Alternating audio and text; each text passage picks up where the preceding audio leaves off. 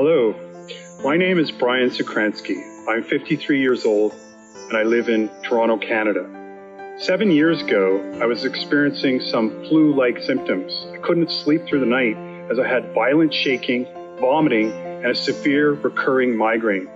It took a few trips to the hospital to determine that I had infective endocarditis, a bacterial infection that attacks the mitral valve.